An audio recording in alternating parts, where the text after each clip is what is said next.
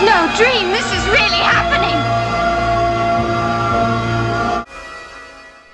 Emphasis is often focused on the back of Rosemary's head and a third person perspective that connects her psychological experience with that of the viewer. Gee, I watch TV all day long. I'll bet I've seen him. Wow. In this scene, when Rosemary's head turns over into her pillow, we follow her mind into her unconscious. Maybe we wouldn't have had to do this.